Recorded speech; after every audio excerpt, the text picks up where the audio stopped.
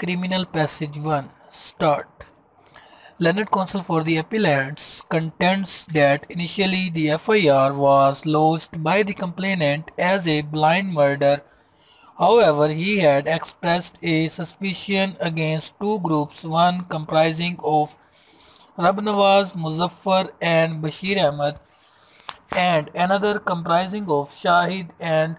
Fakir Muhammad but after thorough investigation when both the groups were declared innocent by the police.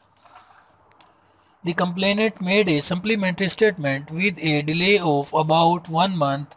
that is, on 25-11-2009, on the basis of some information provided to him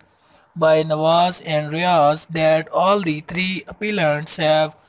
falsely been implicated in this case and these there is no explanation on the record that why Nawaz and Riaz had not informed complainant regarding the involvement of the appellant for the murder of his brother for a long time. That even in the supplementary statement, the evidence shown against the appellants is that they were seen by Nawaz and Riaz at about 9:10 pm between the night of 25-26 2009 present near the pulley armed with unspecified firearms. Therefore, this is a case against the appellants without any legal evidence and is based upon circumstantial evidence. The alleged extrajudicial confession before the complainant Nawaz and Riaz is a fabrication on the part of the prosecution except extrajudicial confession. There is no other evidence against the appellants in this case and evidence of recovery that is only a corroborative piece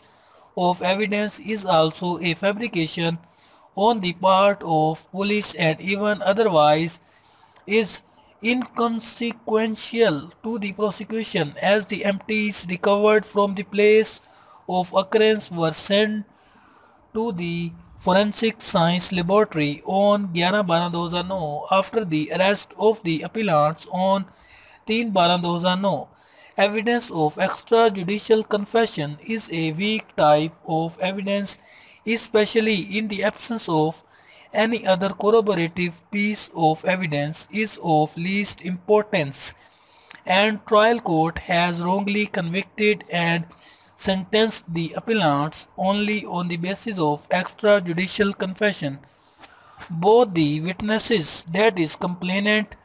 PW6 and Riaz PW7 are real brothers of the deceased and they being interested witnesses have falsely deposed against the appellants. Nothing was recovered from the appellant Umar Hayat and finally prayed for acquittal of the appellants. On the other hand, the learned law officer assisted by the learned counsel for the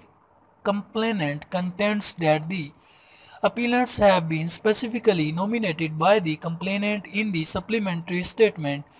Both PW6 and PW7 have made